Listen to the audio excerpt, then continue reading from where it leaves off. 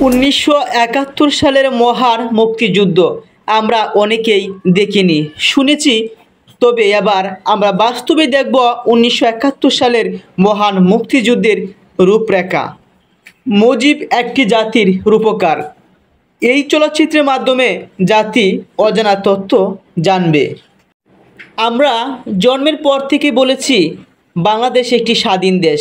কিন্তু কীভাবে স্বাধীন হয়েছে তা আমরা জানি না। যে ইতিহাস কখনোই শুনিনি আমরা, তা উঠে এসেছে মুজিব একটি জাতি রূপকার এই বায়োপিকে আজ তেরোই অক্টোবর মুক্তি পেয়েছে এই সিনেমাটি। বঙ্গবন্ধু শেখ মুজিবুর রহমানের জীবনী অবলম্বনে নির্মিত সিনেমাটি আজ একশো তিপ্পান্নটি প্রেক্ষাগৃহে মুক্তি পেয়েছে। প্রতিবেশী দেশ ভারতে মুক্তি পাবে আগামী সাতাশে অক্টোবর। ভারত বাংলাদেশের যৌথ প্রযোজনায় নির্মিত সিনেমাটি পরিচালনা করেছেন প্রখ্যাত ভারতীয় নির্মাতা শ্যাম বেনেগাল।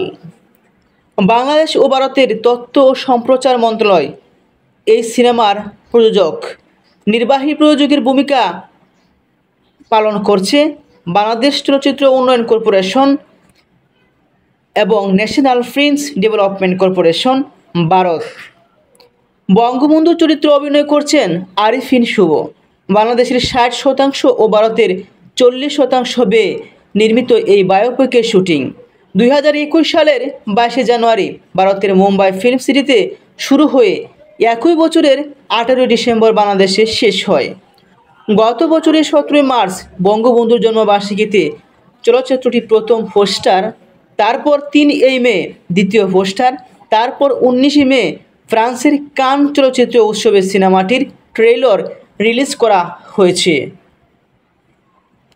আরফিন শুভ ছাড়াও এতে অভিনয় করেছেন নুসরাত ফারিয়া, নুসরাত ইমরুজ তিশা, চঞ্চল চৌধুরী, দিলারা জামান সিয়াম আহমেদ জায়েদ খান কাইরুল আলম সবুজ, ফেরদুস আহমেদ, প্রার্থনা পারদিন দিঘি, রাইসুল ইসলাম আসাদ, গাজী রাকায়াত, তৌকির আহমেদ মিশা সদকর সহ দেশের শতাধিক অভিনয় শিল্পী।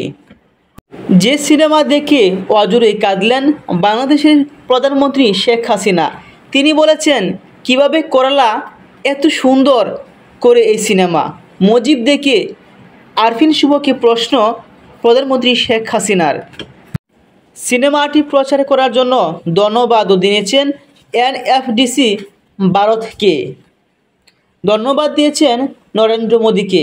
ধন্যবাদ দিয়েছেন অভিনয় শিল্পীদেরকে, যাদের মাধ্যমে নতুন প্রজন্মের মানুষ জানতে পারবে কীভাবে আমাদের বাংলাদেশ স্বাধীন হয়েছে।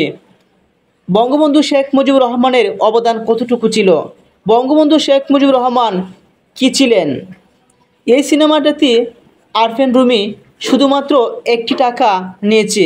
কোনো পারিশ্রমিক ছাড়াই তিনি এই সিনেমাটি সম্পন্ন করেছেন, যেখানে অর্থের চেয়ে অভিনয়েই এগিয়ে।